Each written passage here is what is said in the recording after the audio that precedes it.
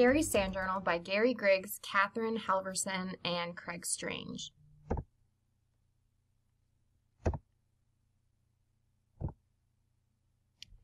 Observing sand. I'm Gary Griggs, a geologist.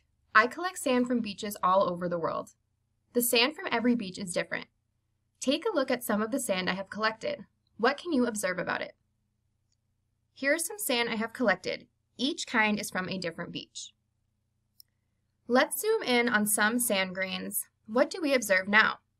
The closer I observe sand, the more I learn. The more I learn, the more questions I have. Scientists ask many questions. Here are some of my questions about the sand. What is it made of? How did it become sand? How did it get to the beach? I did not observe how the sand became sand, how it got to the beach, or what it was before it became sand. That means I need to use ideas I've learned as a geologist and my own observations to figure out the answers to these questions. My observations include things like color, shape, and size of the sand. Read on to figure out how I use these observations as evidence. I use them to support my ideas about how the sand got to be the way it is. The size of sand. How big is a grain of sand?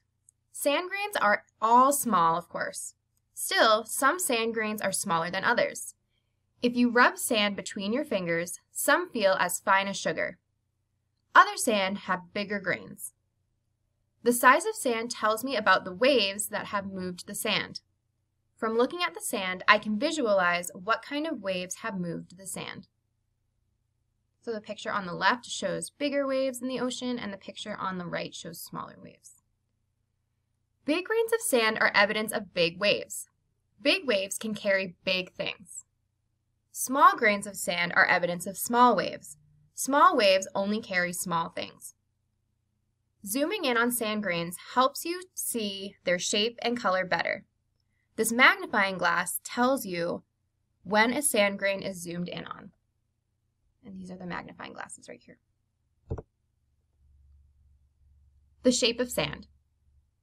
I observe the shape of sand. The shape of sand is evidence that supports my ideas about how old the sand is. Some sand grains are rounded. Rounded sand grains have rolled around and crashed together for a long time. I can visualize the sharp corners wearing down as the grains crash against each other. This is old sand. Some sand grains have sharp edges.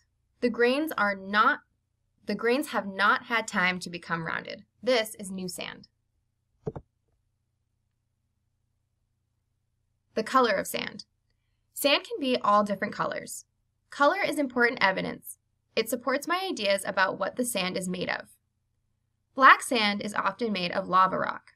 Hot lava sometimes flows from volcanoes into the ocean. The ocean cools the lava. The lava turns into hard black rock. Waves crash on the lava rock. The rock breaks into smaller pieces and becomes sand. Some sand, uh, some white sand comes from coral reefs in the ocean. Coral reefs are made of many tiny coral animals stuck together. As the animals die, waves break off pieces of the coral reef. Those pieces break into sand. Some white sand comes from shells. Clams and other animals with shells live in the water near the beach. After these animals die, waves break their shells into sand. Even shells that start off pink, purple, or blue fade to white over time. Colorful, colorful sand can be made of different types of rocks. This type of sand may come from rocky cliffs near the beach or from mountains. Waves break rocks off the cliffs. Rivers break down rocks in the mountains. The broken rocks crash into each other and make sand. My sand journal. I observed sand from three different beaches. I recorded my observations in a sand journal. I used my observations to figure out what the sand is made of and how old it is. I also figured out where the sand came from and how it got to the beach. I visualized how water broke down different things to make sand and then carried the sand to the beach. Sand 1. Question.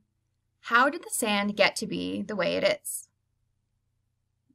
In the observation column, he noticed that the sand is small, it has sharp edges, and it is mostly black with some white. So the evidence, because it is small, it is probably it was probably made by smaller waves. Because it has sharp edges, it is probably new sand grains. And because it is mostly black and some white, sand is made of lava rock and shells. My answer and evidence. There may be a volcano near the sandy beach. My evidence is that I found black sand. Black sand usually comes from lava rock. Lava comes from volcanoes. The sand grains are small. This is evidence of small waves. Small waves can only move small things. The sharp sand grains are evidence that this is new sand. It has not been around long enough to become rounded. Lava must have flowed out of a volcano not long ago. I can tell that many animals live in the water near the beach. My evidence is the white grains of sand. White sand grains usually come from the hard parts of dead animals, like shells or bits of coral. Notes. My answer makes sense. I collected the sand in Hawaii, not far from a volcano. I visited the volcano too. I saw lava flow right into the water. Sand 2. Question. How did the sand get to be the way it is?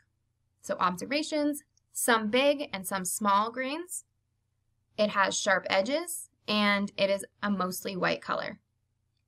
This could be evidence of, um, so because some of them are big and some are small, waves that are sometimes big and sometimes small happen in this area.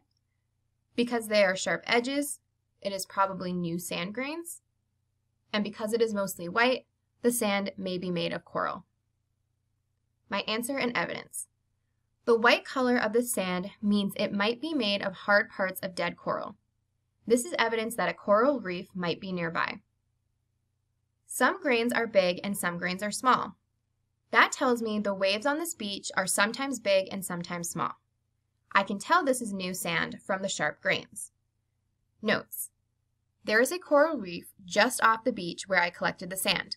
During storms, big waves crash over the reef and break off big pieces of coral. Sand 3. Question. How did the sand get to be the way it is? So some observations.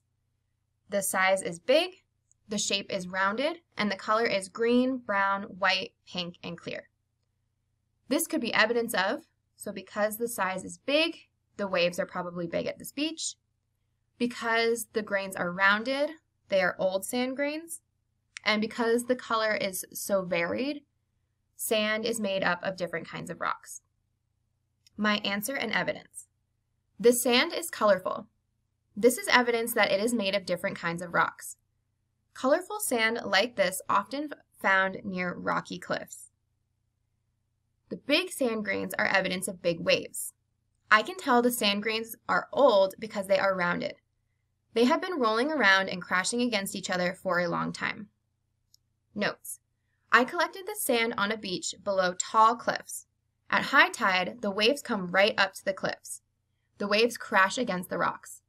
The colors of the sand match the colors of the cliff rocks. Mystery sand. You can be a geologist too. Here, are some here is some beautiful sand. What can you observe about it? Make a table just like the ones I made in my journal. Record your observations in the table. Then think about what your observations can help you figure out. Remember, 1. Make observations.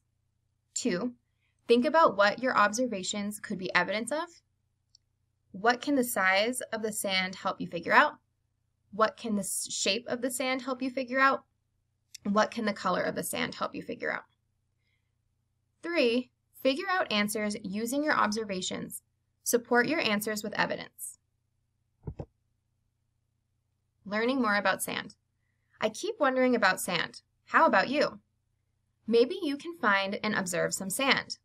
Then you can use your observations to figure out where the sand came from, how it was made, and how it got to the beach. The glossary. So here are some important words that we have read throughout the book. Evidence. Information that supports an answer to a question. Geologist. a scientist who studies the solid part of Earth. Observation, something you notice using any of the five senses. Observe, to use any of the five senses to gather information about something. Record, to draw or write down information. Table, a place to record information using words and numbers, usually inside lines and boxes. Visualize, to make a picture in your mind using information from different sources.